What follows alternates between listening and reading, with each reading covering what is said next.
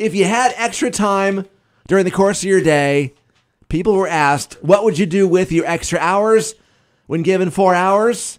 Average person said they would do household chores with that four hours.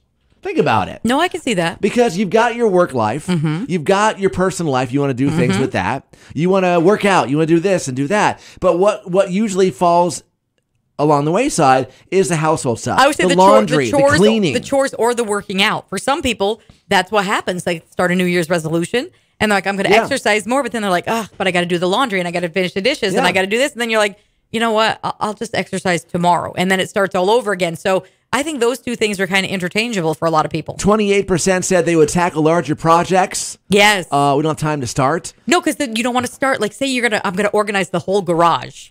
You don't want to start No. that and only give it an hour because then you have to do more mess to get it. Yeah, Twenty Yeah. percent said they would spend more time doing hobbies and things they enjoy. Okay. Maybe picking up a new hobby. I was gonna say, how many Yeah. people wanted to start something like knitting or quilting and they know they don't have the time for it, so they don't even start. Twenty percent said they'd use that time to sleep. Extra Four, four, hours. a day. People love sleeping. I mean, I like to sleep, but four hours a day, maybe an hour Uh-huh. of it, maybe an hour. And and others said they would go back to school or adopt a pet if they had more time in their day. Now, listen, we already have pets, and Four They- hours to spend more time with that's them. That's a lot of time with your pets, even if you love them.